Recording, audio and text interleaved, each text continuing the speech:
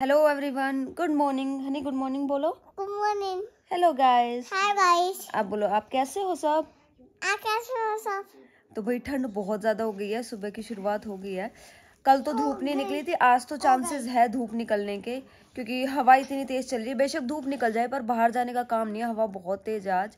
और हनी अभी तक अपनी छोटी सी रजाई लेके और अपनी रजाई में बैठा हुआ है। है ना हनी हम्म, तो अभी चाय वाय बनानी है, सुबह हुए, चाय वाय भी नहीं पी है, अभी चाय बनाते हैं और आज मेरे को जाना है डॉक्टर के पास इंजेक्शन लगवाने। किस चीज़ के इंजेक्शन लग रहे हैं वो भी मैं आपको अभी थोड़ी देर में बताऊँगी, चाय वाय पी के।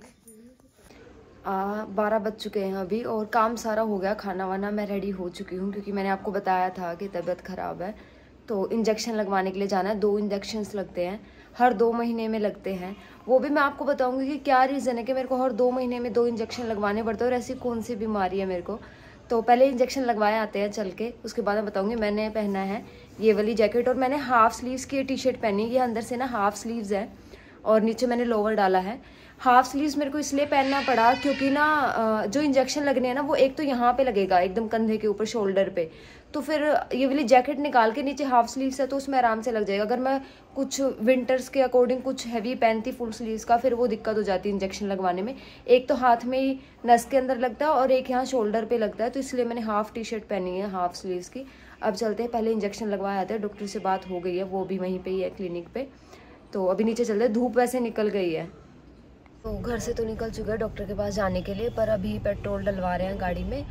या तो बिल्कुल सिटी से बाहर जाना पड़ता है पेट्रोल डलवाने के लिए या बिल्कुल सिटी के अंदर जाना पड़ता है जहाँ बहुत ही ज़्यादा ट्रैफ़िक होता है। तो अभी हम पेट्रोल डलवा रहे हैं गाड़ी में उसके बाद डॉक्टर के पास जाएँगे।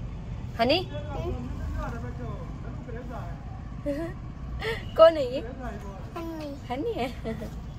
तो अभी इसके पापा है नहीं यहाँ पे आ ही गई डलवा लिया इन्होंने पेट्रोल पहुँच गए अभी हम डॉक्टर के पास। रास्ते में जाम इतना था ना, सोनीपत सिटी ना इतनी कंजस्टेड हो चुकी है। कौन से एरिया में जा लो कोई भी एरिया में। हर जगह ऐसे ही रोड जाम मिलता है। दिल्ली की तरह हर जगह भीड़ होती है यहाँ पे भी, अब सोनीपत में भी। पता नहीं क्या दिन पे दिन डॉक्टर के पास पहुँच गए हैं अब लगवा लेते हैं इंजेक्शन फिर मैं आपको घर पे जाके बताऊँगी कि मेरे को क्या बीमारी और क्यों मुझे हर दो महीने में इंजेक्शन लगवाने पड़ते हैं। यहाँ पे है उनका क्लिनिक ये जो आप रेड रेड देख रहे हो ना, यहाँ पे। डॉक्टर तो आए नहीं है भैया, सबसे पहले अंदर घुस लिए। क्या खुद ही देखेंगे अपने आप को। हाँ कि चले डॉक्टर थोड़ी ना है अब डॉक्टर तो है नहीं क्या करोगे आप? अच्छा हन्नी इंजेक्शन लगवाओगे? ओके मम्मा को लगवाएँगे मम्मा को। बड़े वाली सुई ओके कैसे लग कैसे लगेगा हन्नी मम्मा को? कैसे लगेगा मम्मा को? इंजेक्शन कहाँ लगाते हैं डॉक्टर मम्मा को? जॉब पे। आपको पता है? यहाँ पे भी और यहाँ पे भी दो लगते हैं यहाँ पे एक यहाँ पे। अच्छा ऐसे लगता है। आ रहे दो मिनट में। एक इंजेक्शन तो लग गया वो एक और रह गया अब लगना। मज़ा आ गया। दोनों एक इंजेक्शन हाथों पे लगा ठीक हो गया मज़ा आ गया। दूसरा लगना है दूसरा तो यहाँ शोल्डर में लगना है। है क्या कर रहे हो नहीं आप? क्या कर रहे हो? इसको भी पकड़ा इसको भी नहीं हनी को नहीं लगेगा। है ना नहीं? मम्मा को लगेगा। नहीं लगेगा आपको। कहाँ जा रहे हो? नीचे मत जाना, नहीं? एक दूसरे की तैयारी हो गई भाई। वो मैसा के मारे ना, मम्मा ने ठोक दे सीधा ही।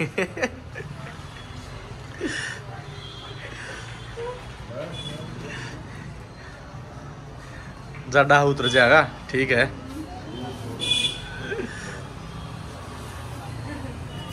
वही काम हो गया एकदम तो वो हो। जाए। कैसे? क्यों करना है ऐसे? क्या होता है ऐसे करने से? गाना बजता गाना बजता है कैसे करते हैं फिर? गाना बजता है देख लो भाई इस बच्चे को इतना पता है गाना बजता है तो ऐसे करता है अपने पापा को बोल रहा है करो जैसे अन्नी बोल रहा है करो। कैसे करना है बेटू? ये। जब गाना बजता है तो ये दोनों पापा बेटा ऐसे डांस करते हैं गाड़ी में। लीना नस मिली नहीं उनको मेरी पता नहीं क्या हुआ। वैसे बोल रहे थे कि पतले आदमियों की जल्दी मिल जाती है। इसमें लगाना भी स्टार्ट किया था पर मुझे नहीं पता क्या हुआ। अरे ठंड की वजह से हो जाता ही है। इतना दर्द हो रहा है। अब इसमें पहले इतना नहीं होता था पर अब ये स्वेलिंग आई है ना ये देखो स्वेलिंग आ गई है यहाँ पे और अब इसमें दर्द हो रहा है। और जो यहाँ जो शोल्डर पे लगा है ना उसमें तो पूरा दिन अब शाम तक इस हाथ में पूरा शाम तक पेन रहेगा बहुत ज़्यादा। कल जाके फिर ठीक हो जाएगा। और ये जो यहाँ पे नहीं लगा था ये फिर दूसरे हाथ में भी लगा। तो तीन तीन जगह पे आज इंजेक्शन लग गया, दवाई भी ले ली है। अब निकल चुके हैं, जाम लगा हुआ है। जाम तो मैंने आपको बताया है, सोनीपत सिटी में हर जहाँ भी निकल लो, वहीं जाम लगा हुआ है। पहुँच गए भाई। गाड़ी भी लगा दी है और वो वहाँ पे रचना दीदी उतार रही है अपने सूट। धूप अब दो दिन बाद धूप निकली आज ये थोड़ी बहुत। आज वहाँ नहीं बैठे। वहाँ ना आज इतनी धूप नहीं थी तो आज हम यहीं बैठे हैं एकदम गेट के पास। आज वहाँ पे इतनी धूप नहीं थी और वो चले गए दादा के लिए हुक्का भरने। हनी बैठा है चेयर। हनी क्या ले रहे हो आप? ये वहाँ पे ना शॉप थी वहाँ से इसने ले ली लिमका है ना? क्या है ये? कोला। कोला है। को। सबको क्या लेके आए हो दूँगा मूली।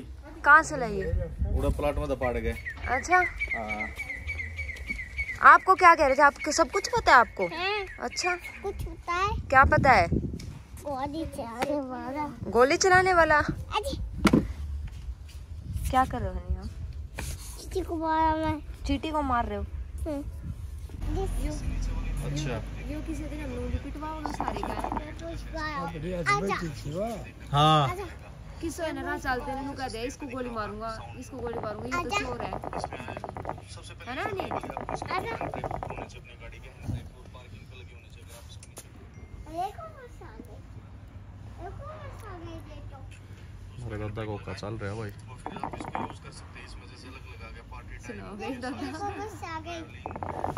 साढ़े मेथी छुट्टी जा रही है। है ना? कुकुरे खाना है। क्या खाना है दोबारा बोलो? कुकुरे खाने हैं। कुकरे? कुकरे तो नहीं आते मार्केट में कहाँ है कुकरे? नहीं। गंदे होते बेटू कुरकुरे नहीं खाते ओके मैं कुकरे डॉक्टर ने मना किया ना आपको? मिर्ची है नहीं। मिर्ची ना उनमें? नहीं है। नहीं है? नहीं दिला दे। इसमें थोड़ी ना मिर्च लगे गिनना हाँ सब्ज़ी तो बिल्कुल भी नहीं खाता थोड़ी सी भी बिल्कुल है ना? सब्ज़ी में तो मिर्ची होती है। अंकल दोबारा जा चुके थे। हम डॉक्टर के पास गए थे ना दवाई लेने तो फ़ोन करके दोबारा बुलाया सब्ज़ी ले ली मैं। आपका खिला सकते हैं ले लो हाँ ले ले।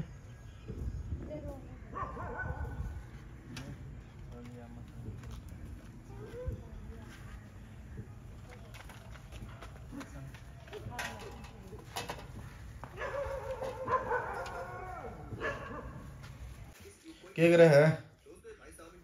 दवाई दवाई। अच्छा। ये देख ले इनको पूरी ले भीतर में। जान दे कदी बीता दी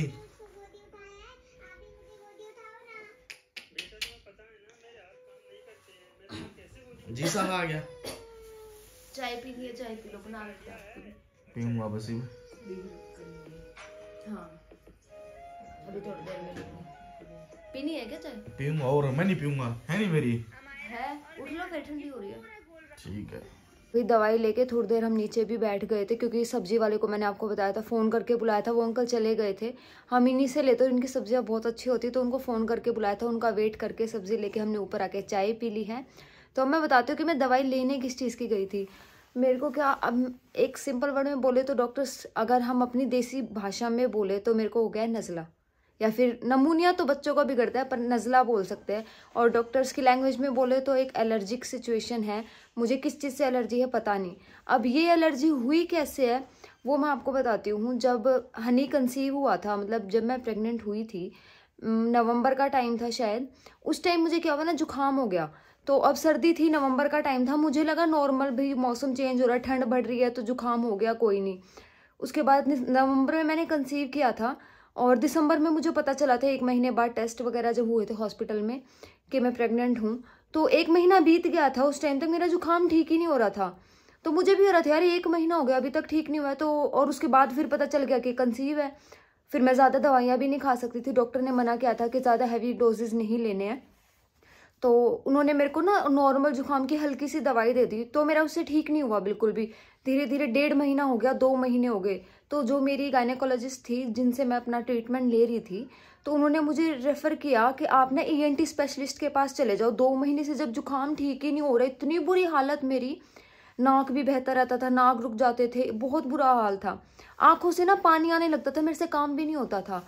तो मैं एक ईएनटी स्पेशलिस्ट के पास गई, और फिर उन्होंने बोला, हम आपका एक्सरे भी नहीं कर सकते टेस्ट भी नहीं कर सकते हम ज़्यादा। तो उन्होंने मुझे दवाई दी, एक हफ़्ते की दवाई दी। वो दवाई ली मैं बिल्कुल ठीक। फिर उसके बाद उन्होंने एक हफ़्ते के बाद वो दवाई दी, मैं ठीक हो गई तो फिर उन्होंने वो दवाई छोड़ दी। वो दवाई छूटते ही अगले ही दिन, जिस रात को मैंने दवाई नहीं ली, उसी, उससे अगले दिन मेरे को सुबह फिर जुकाम। फिर मैंने दो तीन दिन वेट किया, फिर गई। फिर उन्होंने एक हफ़्ते की दवाई दी तो ये प्रोसेस ना मेरा पूरा नौ महीने चलता रहा कि अगर मैं दवाई ले रही हूँ। मेरे साथ क्या होता था, अगर मैं रात को ना, एक रात भी मैं दवाई लेना भूल रही हूँ ना तो एक डोज भी अगर मिस हो रहा है तो मेरे को सुबह इतनी तेज जुकाम होता था कि मेरी हालत ख़राब हो जाती थी। आँखों पे स्वेलिंग आँखों से पानी निकलना। तो डॉक्टर ने मुझे क्या बोला? फिर जो ईएनटी स्पेशलिस्ट थे, कि ना कभी कभी क्या होता है ना, कि जब मदर कंसीव करती है ना तो बॉडी में ना बहुत सारे चेंजेस आते हैं। तो ये जो बीमारी आपको लगी है ना, ये बच्चे की वजह से लगी है।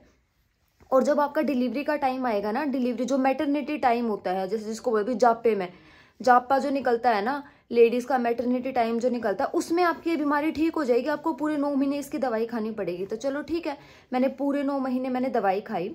उसके बाद क्या हुआ, जब हनी की बर्थ हुई, जब ये पैदा हुआ तो मेरा ना जुकाम ठीक हो गया। चार पाँच दिन के लिए मुझे लगा मेरे को राहत मिले कि यार थैंक गॉड अब दवाई नहीं खानी पड़ेगी, ठीक हो गया। बट वो सिर्फ़ चार पाँच दिन के लिए ही ठीक हुआ था। चार पाँच दिन बाद फिर वो ये जुकाम, फिर मैंने दवाइयाँ लेना स्टार्ट किया। उस टाइम क्या हो गया? पहले कंसीव कर रखा था, ज़्यादा गर्म दवाई नहीं खा सकती। तो उसके बाद क्या हुआ? बच्चा फ़ीड कर रहा है, बच्चा माँ का दूध पी रहा है, फिर मैं ज़्यादा गर्म दवाइयाँ नहीं खा सकती। तो मेरी ये दवाइयाँ ना, उस टाइम पे ना मैंने इतने डॉक्टर्स चेंज किए। मैंने होम्योपैथिक एलोपैथिक पता नहीं देसी दवाई कौन कौन सी दवाई मैंने नहीं खाई। कई कई महीने इलाज चलाया मैंने, बहुत दवाइयाँ खाई। कोई कह रहा था, ठीक हो जाएगा, फिर दवाइयाँ खा रही हूँ, इतने आराम है, दवाई छूटते फिर से जुकाम मेरे को। मैंने फिर बीच में एक लिवोसिट्रोजिन की गोली आती है टैबलेट आती है, वो लेना शुरू किया। एक गोली सिर्फ़ रात को लेके सो जाऊँ तो बिल्कुल ठीक, एक दिन भी मिस हो जाए तो अगले दिन फिर जुकाम। तो भाई, अब मैं, अब हनी ना साढ़े तीन साल का हो गया है और नौ महीने ये पेट में था तो ये लगा लो साढ़े चार साल हो गए हैं मुझे इस बीमारी से, एक एलर्जी से।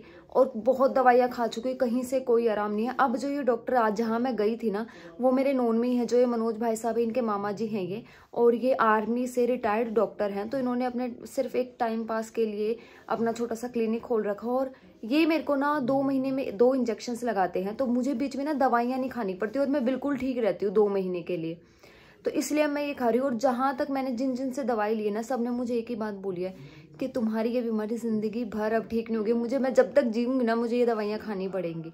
बस एक चांस है ये ये तो कई डॉक्टर्स ने मुझे बोला है कि एक चांस है मेरी बीमारी ठीक होने का। वो ये है कि जब सेकंड बच्चा होगा, जब मैं सेकंड टाइम कंसीव करूँगी और जो दोबारा मेरा जापे का टाइम आएगा या मैटरनिटी का टाइम आएगा, उस टाइम पीरियड जो होता है ना, वो एक महीने का। उस टाइम पीरियड पे अगर मैंने कोई अच्छा इलाज ले लिया तो मेरी ये बीमारी ठीक हो सकती है। अदरवाइज़ मुझे सारी उम्र ये दवाइयाँ खानी पड़ेगी। अब पता नहीं, जो मैं इंजेक्शन्स लगवा रही हूँ, ये मैं पिछले दो साल से लगवा रही हूँ। दो साल मैंने वैसी दवाइयाँ ट्राई की थी। तो पता नहीं ये कब तक असर करेंगे, कब तक ये चलेंगे बट ठीक है। अब करना भी पड़ रहा है, क्योंकि जो, इतना बुरा हाल मेरा होता ना कि मैं कुछ भी नहीं कर पाती फिर। तो इसलिए मैं अब ये दवाइयाँ ले रही हूँ। बाकी अब देखते हैं कि क्या होता है। अब रिस्क भी नहीं लिया जा सकता कि मैं दूसरा बच्चा, अभी हमारा प्लानिंग वगैरह से कुछ है नहीं। बाकी आगे देखते हैं जो भगवान की मर्ज़ी होगी।